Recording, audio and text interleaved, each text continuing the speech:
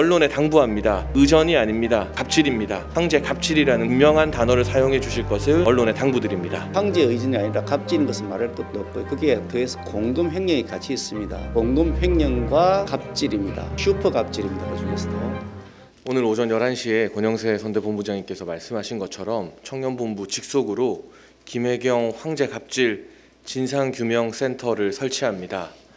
이 직장 내 갑질은 사회에 첫 발을 내디딘 청년들에게는 생존의 문제나 다름없습니다.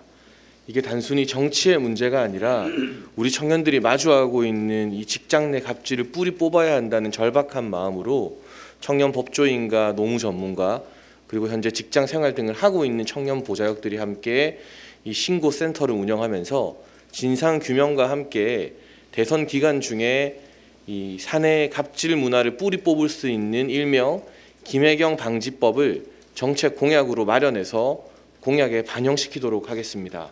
단순히 이재명 후보와 이 김혜경 씨의 부도덕한 갑질을 밝혀내는 것에서 그치지 않고 국민의힘과 이 선대본 청년본부는 직장 갑질 문화 개선이라는 더 큰 대안을 위해서 달려나가겠습니다. 그리고 언론에 당부합니다. 의전이 아닙니다. 갑질입니다. 이걸 의전이라고 표현한다면 이 어렵게 의혹을 폭로한 전 7급 공무원 A 씨를 모욕하는 일이 될 것입니다. 황제 의전이 아닌 황제 갑질이라는 분명한 단어를 사용해 주실 것을 언론에 당부드립니다. 감사합니다. 제가 말씀드린 그게 의전 황제 의전이 아니라 갑질인 것은 말할 것도 없고요. 거기에 더해서 공금 횡령이 같이 있습니다. 공금 횡령과 갑질입니다. 아, 슈퍼 갑질입니다. 그 중에서도 그 지금 그 도의사를 수행하는 배모순 사무관 5급 사무관이 성남시장실은 7급이었다고 하는 것 같아요. 계속해서 이 별정직 정규 공무원이 아니고 별정직 공무원을 별도 채용한 겁니다.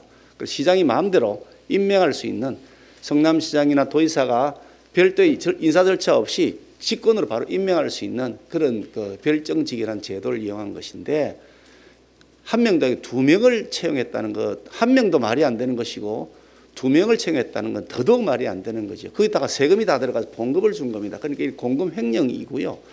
그걸 이재명 후보의 배우자의 문제가 아니고 이재명 후보 본인의 문제입니다. 채용은 배우자가 채용한 것이 아닙니다. 이 성남시장 그리고 경기도지사가 채용을 한 것이지 그 배우자가 채용을 한- 한 것이 아닙니다. 자기가 결제를 해가지고 자기가 지시를 별정직인데 자기가 모르고 어떻게 결- 채용이 됩니까? 별정직이라는 게 그게 행정수장이 책임을 지고 채용을 하는 것인데요.